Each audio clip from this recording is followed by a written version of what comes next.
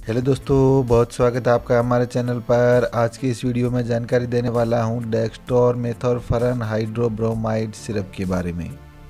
ये दवा government hospital में बिल्कुल फ्री दी जाती है। किसी और कंपनी की अगर आप मार्केट में ख़रीदेंगे तो आपको साठ सत्तर रुपये के आसपास मिलेगी। तो आइए दोस्तों, जानते हैं ये दवा किन किन समस्याओं में काम करती है, इसको ली जाने वाली डोज क्या है और साथ ही जानेंगे इससे होने वाले साइड इफ़ेक्ट्स के बारे में। दोस्तों, ये दवा शरीर के मस्तिष्क भाग में खांसी पैदा करने वाले गतिविधि को कम करके काम करती है।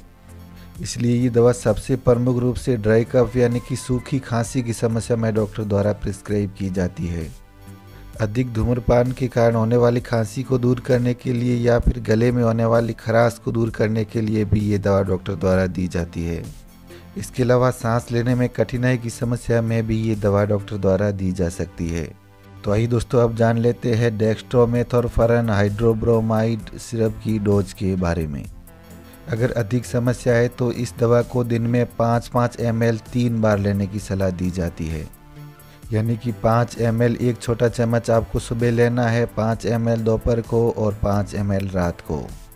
अगर खांसी की समस्या इतनी ज़्यादा नहीं है तो पाँच पाँच एम एल दिन में दो बार लेने की सलाह दी जाती है।